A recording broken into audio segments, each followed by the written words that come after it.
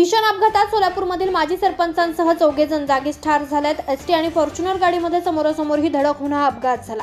कर्नाटक राज्यातील विजयपूर जिल्ह्यातील बसव कल्याण जवळ ही घटना घडली आहे. महाराष्ट्र शासन कृषी विभाग आत्मा आणि शिवचिदंबर ट्रॅक्टर्स यांच्या संयुक्त विद्यमानं पारगाव येथील शेतकरी यांनी भात शेतीत यंत्राच्या साहाय्यानं लागवडीचं प्रात्यक्षिक आत्माच्या मार्फत घेतलेलं आहे. याच अनुषंगानं शेतकरी अर्जुन घोडे यांनी एक एकरात सेहेचाळीस क्विंटल उत्पादन घेऊन भात शेतीतून लाखो रुपयांचं उत्पन्न मिळवलं आहे माननीय एकनाथजी शिंदे साहेब प्रतिष्ठान यांनी राजे लखुजीराव जाधव यांच्या राजवाड्यात स्वच्छता मोहीम राबवली आहे. कोरोनामुळे राजवाडा बंद असल्यानं या ठिकाणी अस्वच्छता पसरली होती परंतु राजवाडा सुरू झाल्यानं आता पर्यटकांचा ओघ वाढू लागलाय. याच पार्श्वभूमीवर ही स्वच्छता मोहीम राबवण्यात आली आहे.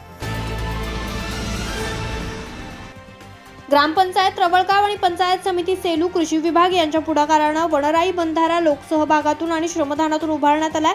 यामध्ये पाच वनराई बंधारे बांधण्याचं नियोजन असून त्यातील एका बंधाऱ्याचं काम पूर्ण करण्यात आलंय.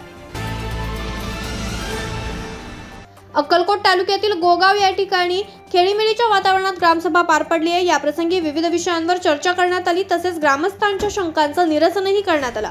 अखेर जिल्हा परिषद मराठी शाळेत देण्यात आलेल्या आरो फिल्टर मशीनचं उद्घाटनही सरपंच सुरवसे यांच्या हस्ते करण्यात आलंय.